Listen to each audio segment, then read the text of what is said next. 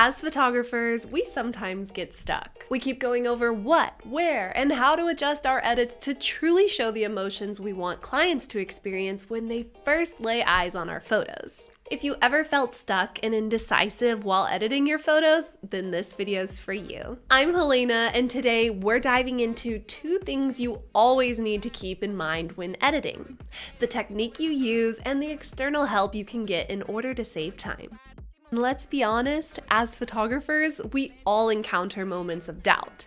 We wonder, what adjustments will truly capture the essence of this moment? How can I ensure the viewer feels what I felt when I took this photo? So today, we're going to talk about practical strategies that will help you through the editing process so that you can showcase your unique perspective. First, let's bust this myth. There is no definitive right or wrong way to edit a photo. Each of us has a distinct style and vision. Embrace it. The crazy thing about editing is that it lets us breathe life into our photographs in so many ways.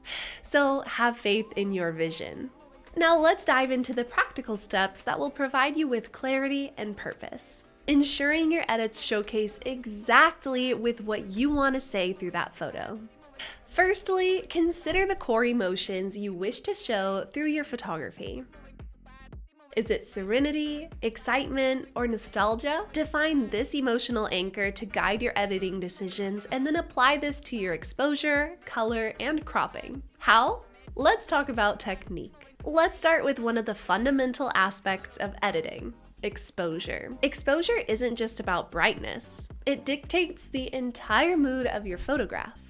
Take a well exposed image, for example. It has a clean effect, perfect for serene landscapes or portraits that capture a sense of calm. On the flip side, an underexposed shot has mystery and drama. It adds depth, pulling the viewer into a world of shadows and contrasts. The beauty of editing lies in its ability to change not just the visual elements, but the emotional impact of your photos. With a twist of the exposure slider, you can turn a sunny day into a sunset romance or transform a bustling cityscape into a quiet moment. All right, let's dive into the juicy stuff color.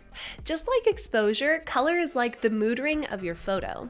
It sets the vibe and totally shifts how your audience feels about what they're seeing. Picture this vibrant colors are like a party in your photo. They scream energy and excitement, making everything pop on the screen. On the flip side, muted colors are the chill vibes. They bring a sense of calm and reflection, kind of like soft music playing in the background. They tone down the noise and let subtle details shine through, perfect for those intimate portraits or dreamy landscapes. Whether you're going bold with vibrant hues or keeping it soft with muted tones, each color choice shapes the story your photo tells. Colors aren't just colors, they're the soul of your photo, so make sure you play around and experiment until you find your style. Cropping can dramatically change the essence of your photo too turning a good shot into a great one. By repositioning your cuts, you can shift the focus to a new subject, alter the composition, and transform the narrative of the image. Remember, one precise cut can change the whole story of a frame. Don't forget about creative cropping techniques. You can create a sense of depth by cropping to include leading lines that draw the viewer's eye into the scene. Lastly, think about the emotional impact of your crop. Tight crops can create intimacy and connection with the subject, while wider crops can convey a sense of space and context. Experimenting with different cropping strategies can help you discover new ways to tell your story and evoke the desired emotional response from your clients. Now, let's move on to the second thing you should try when editing we all know that AI is now part of photographers' workflow, whether it's used in Lightroom, Photoshop, or even a software that does the editing for you, as Aftershoot. AI is here to stay and we need to embrace it. So in this case, let's explore some specific AI features that have made a huge impact on our editing process. First, AI masking allows on-point selection of elements within an image. It's incredibly efficient, ensuring precise edits without too much manual effort.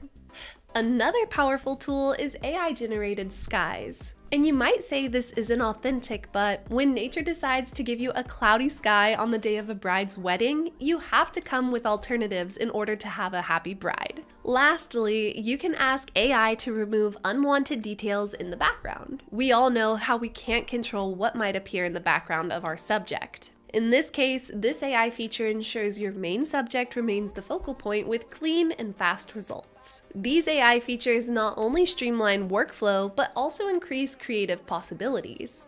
They help photographers achieve distinct looks and guide viewer attention precisely as intended. And let's be honest, embracing AI doesn't diminish artistic control. Rather, it expands our toolkit and opens doors to new creative ideas. It's about leveraging technology to tell the story we want to tell. With a clear idea of what techniques to use and with the help of AI, you can get over that creative block. Now that you've seen how these techniques can transform your photos, why not give them a try in your next project?